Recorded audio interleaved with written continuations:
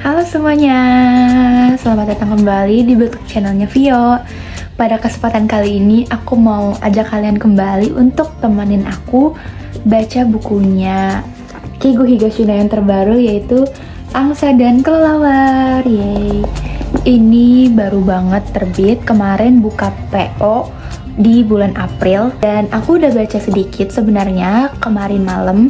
Karena seperti biasa kalau di reading vlog itu aku udah baca bukunya duluan untuk tahu seperti apa gambaran utama dari buku yang mau aku vlog. Aku bener-bener baru baca dikit banget walaupun angkanya udah 103 karena ini tuh total halamannya 559 jadi ini tebel banget. Aku bacanya tuh ya kalau dipegang gini uh, agak berat juga ya.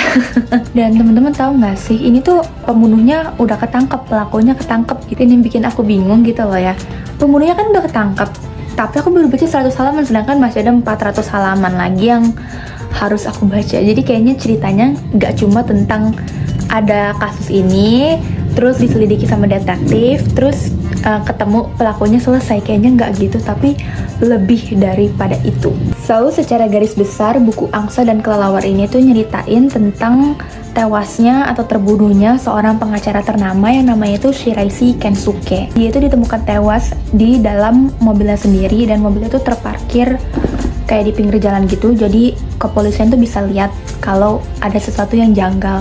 Dan yang anehnya tuh Shiraishi Kensuke ini tuh dikenal sebagai pengacara yang baik yang kalau ada klien dia udah dia bebasin atau dia bantu meringankan hukumannya gitu loh semua kliennya dia tuh ngucapin terima kasih dan pokoknya tuh kayaknya Shiraishi Kensuke tuh nggak punya musuh atau nggak ada orang yang bisa nyimpen dendam sama dia. Dan detektif yang bertugas di kasus ini tuh ada dua orang, namanya tuh Godai dan juga Nakamachi. Mereka sejak itu langsung datengin klien-kliennya Shiraishi Kensuke yang pernah dia bantu dan juga histori dari telepon atau orang-orang tuh yang pernah hubungi Shiraishi Kensuke beberapa hari terakhir. Nah, tapi tiba-tiba muncullah satu kejanggalan. Godai itu akhirnya menyelidiki keluar kota ke prefektur Aichi dan dia di sana ketemu sama Karuki. Nah yang bikin anehnya itu dia nemuin satu kayak jimat gitu dari salah satu kuil yang ada di Tokyo. Padahal sedangkan Kuraki ini ngakunya dia cuma pernah komunikasi via telepon aja sama Shiraishi, gak pernah ketemu. Jadi kok bisa sih Kuraki ini dapet jimat kuil dari tempat Shiraishi pernah ada di sana. Penyelidikan ada jalan terangnya kayak satu-satu tuh mulai muncul lah kulu-kulu yang berdatangan, ada hal-hal yang saling berkaitan dan akhirnya memang Karuki yang ngebunuh Shiraishi. Ini aku bukan spoiler karena emang di blog bukunya uh, dikasih tahu kalau Karuki itu akhirnya ngaku sendiri gitu kalau dia ngebunuh Shiraishi. Dan yang aku ceritain itu kan baru 100 halaman pertama, jadi santai aja guys, masih ada 400 halaman lebih lagi yang harus aku baca dan yang aku rahasiain dari kalian semua. Dan ngomong-ngomong soal motif pembunuhan, pasti dong Karuki bunuh Shiraishi ada motifnya. Nah ternyata motifnya itu nggak aku duga karena itu ngebawa plot twist lainnya di mana alasan itu berhubungan juga sama kasus lainnya yang udah 30 tahun lamanya. Jadi kayak udah ada kasus terus kita nguak lagi kasus yang lain. So ini kayak lumayan keren gitu sih. Dan sejujurnya aku tuh lumayan bingung sama bukunya. Bukan bingung karena alur ceritanya atau gimana gitu tapi karena tokoh dalam buku ini tuh kayak banyak banget. Terus kayak mereka kan kerjasama sama detektif dan tim penyelidikan dari detektif lain maksudnya dari prefektur lain. Jadi aku agak bingung terus orang-orang yang ditemui itu banyak banget. Jadi ini lumayan beda sama buku-bukunya Kigo yang sebelumnya di mana tokonya tuh pelan-pelan gitu munculnya. Tapi ini baru satu halaman pertama aja. Aku tuh udah ketemu sama belasan nama tokoh yang which is aku agak susah ngingetnya karena namanya Jepang bukan nama Indo. Itu tuh nggak mengurangi kesenangan aku baca buku terbarunya Kigo yuk ikutin aku terus baca kelanjutan dari cerita di Angsa dan Kelawar. Halo semuanya. Aku mau update bacaan aku di buku Angsa dan Kelelawar ini. Jadi sekarang aku udah sampai ke bab 25 yaitu di halaman 238. Aku nggak sempet rekamnya kemarin gara-gara nggak tahu aku tiba-tiba lupa aja kalau aku lagi bikin reading vlog dan aku kebablasan baca ini sampai halaman 238. Dan kelanjutan ceritanya sebenarnya masih uh, terkait dengan afterward dari review siapa pembunuhnya itu. Jadi sekarang aku tuh lagi ngebaca sudut pandang dari keluarga korbannya yaitu Shiraishi yaitu ibu dan anaknya gimana tanggapan mereka tentang pembunuhannya terus bagaimana mereka mem memanfaatkan partisipasi korban di mana mereka juga bisa turut berpartisipasi dalam sidang nanti. Dan juga aku ngelihat sudut pandang dari anaknya Kuraki si pembunuh yang namanya itu Kazuma. Aku ngeliat gimana dia parno gimana dia takut terus dia juga uh, untuk sementara WFO dari rumah karena tempat kerjanya dibombardir sama wartawan. Terus gimana? Kasus ini berjalan aku jadi bisa ngeliat sebenarnya Kuraki itu tuh bukan orang jahat tapi dia orang baik. Karena dia tuh punya niat baik gitu loh ke mendiang keluarga korban yang salah tangkap di kasus 30 tahun yang lalu. Jadi memang masih seputar di penyelidikan itu dan nanti juga mau lihat gimana hukuman yang dijatuhin ke Kuraki itu seberapa lama dan juga proses persidangannya gimana. Kira-kira gitu sih. Tapi aku nggak bisa kasih tau banyak-banyak nanti spoiler pokoknya detail-detail lengkapnya yang kayak kecil-kecilnya yang bisa bikin dia baik yang bisa bikin dia mungkin gak kelihatan jahat itu kayak gimana teman-teman bisa baca sendiri. Aku mau lanjut baca dulu. By the way ini tuh udah jam 22.42 hampir jam 11 paling aku mau baca bentar lagi aja bisa itu aku tidur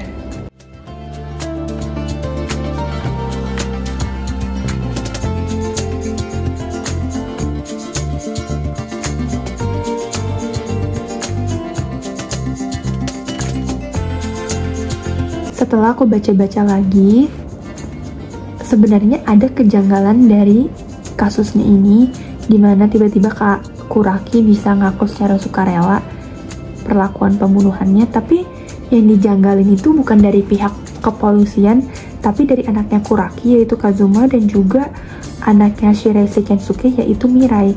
Mereka tuh ngeliat kayak ada yang aneh gitu dari kasus ini. Kalau Mirai dia ngeliat kayak tanggapannya Shiraishi waktu sebelum dibunuh itu menurut dia aneh. Dan juga kalau Kazuma itu nganggapnya lokasi pembunuhannya itu justru yang aneh. Jadi sebenarnya nggak terlalu krusial tapi minor aja. Cuma kalau misalkan diceritain di sini pasti ada yang penting. Makin menarik sih karena persidangannya belum mulai. Dan aku juga mau tahu gimana nanti hukuman yang dijatuhkan itu berapa lama. Aku tetap mau lanjut baca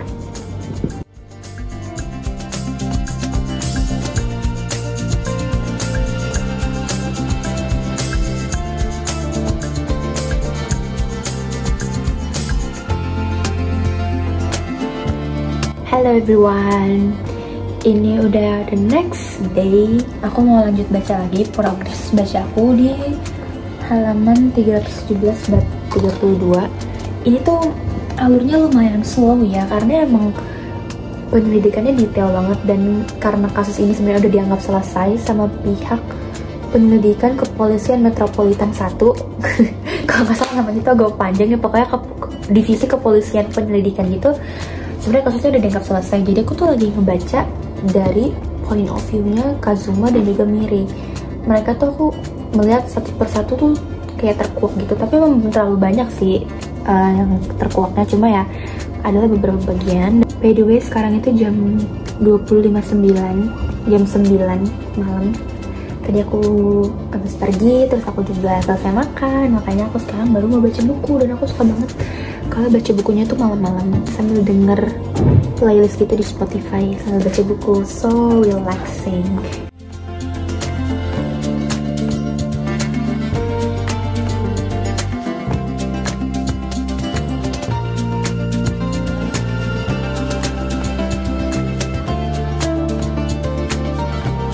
Halo dan karena aku emang kepo banget sebenarnya kayak aku udah pengen tahu sebenarnya nih kenapa dan ada apa. Jadi aku baca tuh lumayan cepet ya. Sekarang udah bab 43 Wih.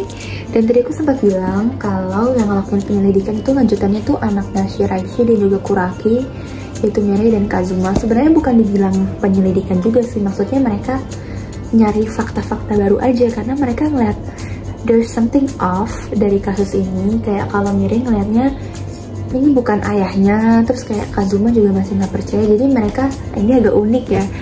Jadi kor anak dari kedua pelaku pelaku dan korban tuh malah kerja sama untuk nyari tahu fakta-fakta yang asli kayak mereka nyari celah nyari kebohongannya yang which is aku nggak bisa kasih tahu ke kalian. Sebenarnya fakta yang ditemuin yang janggal yang dinyatakan kebohongan itu apa karena nanti bakalan spoiler. Tapi memang aku ngeliat sih uh, kalau ternyata misalkan ada kasus kayak gini apalagi contohnya di buku ini tuh kita nggak bisa cuma ngandelin polisi doang. Justru korban anaknya dari korban gitu. Pokoknya sisi korban dan sisi pelaku lah I don't know gitu justru memang harus partisipasi untuk nemuin yang janggal gitu karena sebenarnya kita juga kan yang kenal sama keluarga kita sendiri. Dan walaupun kepolisian udah nyatain this close this case is closed dan udah mau, mau masuk ke kejaksaan udah mau diputuskan hukumannya tapi mereka tuh masih giat nyari dan bahkan tuh detail banget sampai ke masa lalu ke belakang ke belakang. Dan mereka tuh orangnya mau mendengarkan tokoh-tokoh di sini mereka tuh semuanya dibicarain dan kalau di penting sedikit tuh langsung ngabarin semuanya. Kayaknya sudah menemukan titik terang karena udah mulai lagi dilaksanakan penyelidikannya. Karena akhirnya setelah nemuin kejanggalan bla bla bla bla gitu akhirnya ya kepolisian yaitu detektif yang bertugas yang bernama Godai mulai kayak rapat gitu dan nyari kebenarannya lagi karena udah diputusin udah boleh lagi. So mari kita selesaikan buku ini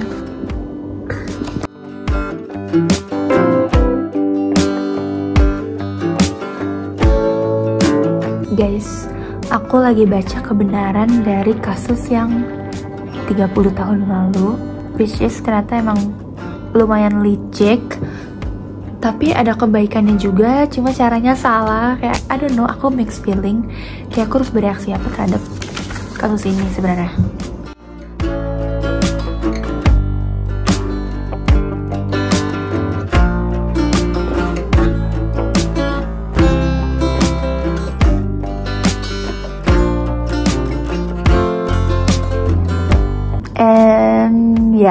selesai baca aku nggak tahu kenapa aku merasa agak hampa gitu. Sebenarnya aku juga bingung aku harus bereaksi seperti apa. Setelah aku melalui perjalanan penyelidikan yang begitu panjang aku pikir emang sebenarnya tuh kejadiannya tuh diulang-ulang terus di buku ini. Tapi memang selalu ada fakta-fakta baru dan kejanggalan-kejanggalan baru yang selalu ditemuin oleh beberapa orang yang berbeda. Dan ternyata pelakunya itu sangat berkebalikan dari fakta yang memang sudah kita tahu dan bahkan pelakunya itu pun dimension tuh kayak hmm, cuma sekali atau dua kali dan itu tuh kayak nggak terlalu penting. Jadi kita nggak akan sadar kalau sebenarnya pelakunya itu karena nggak mungkin gitu kayak kok tiba-tiba dia? Tapi sebenarnya masih satu universe sama keluarga di sini pelakunya. Tapi aku nggak expect aja karena dia tuh pas aku baca kayak tokoh dia tuh dia benar-benar angin lalu doang. Aku nggak tahu lah harus gimana? Tapi memang aku lega sih karena aku udah tahu seluruh kebenarannya itu seperti apa. Pernyataan aslinya kejadian aslinya yang 30 tahun lalu dan juga pembunuhan Shirase Kensuke itu sebenarnya gimana? Caranya dibunuh gimana? And whatsoever gitu loh. Dan ternyata memang aku lihat polanya kalau di buku-buku Keigo Higashino ternyata tuh motifnya adalah selalu alasan personal bukan yang gimana-gimana banget. Dan sebenarnya reason-reason atau motif di balik buku-buku Keigo Higashino tuh simple sebenarnya cuma memang dibikin rumit aja ya. Tapi keseruannya di situ sih sejujurnya. Halo semuanya. Aku mau kasih kesimpulan secara menyeluruh. Pendapat aku mengenai buku Angsa dan Kelelawar karena semalam aku udah selesai bukunya dan memang plotisnya aku gak nyangka gitu kan. Kalau bisa aku tebak plotisnya itu bukan Keigo Higashino.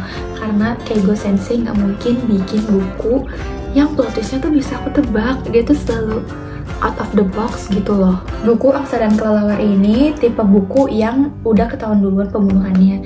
Jadi memang the rest of the book itu kita bakal baca motif apa sih sebenarnya dari pelakunya. Jadi aku nganggapnya buku ini emang kebagi dua part gitu loh.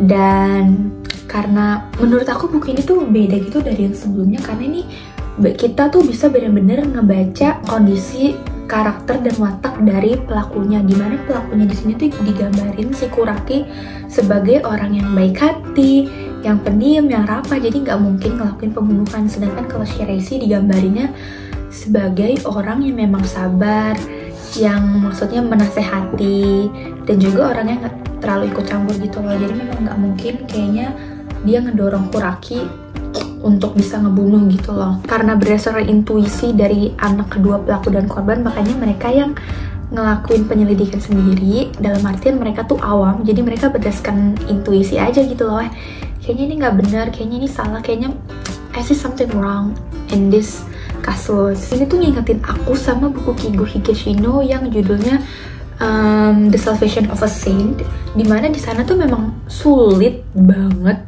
Jadi memang mirip kayak gitu loh. Uh, polisi udah tahu pelakunya dia tapi kayak apa gitu motifnya? Nggak ada nggak bisa temuin. Nah kerumitan kasus di sana sama di sini tuh mirip banget. Cuma di sini emang lebih panjang aja karena ini 500 halaman dan juga motif di baliknya itu ngingetin aku sama buku The Devotion of Suspect X. Itu kayak tipenya tuh mirip-mirip gitu tapi yang ini tuh kayak digabungin. Kalau teman-teman baru mau mulai baca buku Keigo. Aku nggak saranin baca ini karena ini alurnya lumayan lambat dan juga penyelidikannya lumayan ketat gitu aku saranin teman-teman bisa baca buku Melis atau The Newcomer aja itu lebih cocok untuk pemula. Yang bikin buku ini beda sama buku-buku sebelumnya juga di sini tuh bagian persidangan atau afterword dari penyelidikannya lebih dikuak lagi, lebih lebih dipaparin lagi kalau buku-buku yang lain itu atau buku-buku tentang penyelidikan, pembunuhan yang lainnya tuh aku bacanya lebih ke prosesnya aja sih. Tapi kalau di sini lebih banyak ngebahas tentang kayak pengadilan-pengadilan gimana, sistem korbannya,